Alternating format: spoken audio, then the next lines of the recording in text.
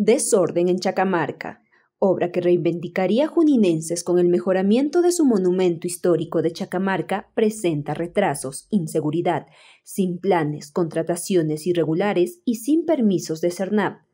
Esta obra de más de 55 millones de soles ha sido observada por el órgano de control, teniendo cinco irregularidades, entre ellas la más grave, la posibilidad de no celebrarse el bicentenario en el paraje, o a su vez que esto afecte los avances. Por otro lado, se tiene la falta de personal como el administrador e ingeniero de calidad, también la falta de supervisión de ingenieros de seguridad y salud ocupacional y los más importantes, una empresa supervisora, hecho que genera el pago irregular por valorizaciones sin formación completa, ya que no se puede comprobar los metros ejecutados, hasta el momento la obra no supera el 10%.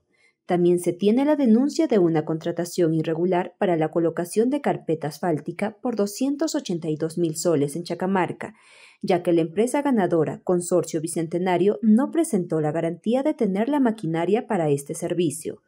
Esta contratación se hizo pese a que el gobierno regional cuenta con los equipos para ofrecer este servicio, por lo que será un servicio innecesario que genera mayores gastos al Estado. Finalmente se sabe que este proyecto aún no cuenta con el permiso de CERNAM para un patio de maquinaria, ya que presenta inconsistencias en sus pedidos. Este permiso debió ser tramitado desde inicio de este año. Aún así, no lo hicieron. Así va el trabajo de Sósimo con Junín, quien les prometió una reivindicación.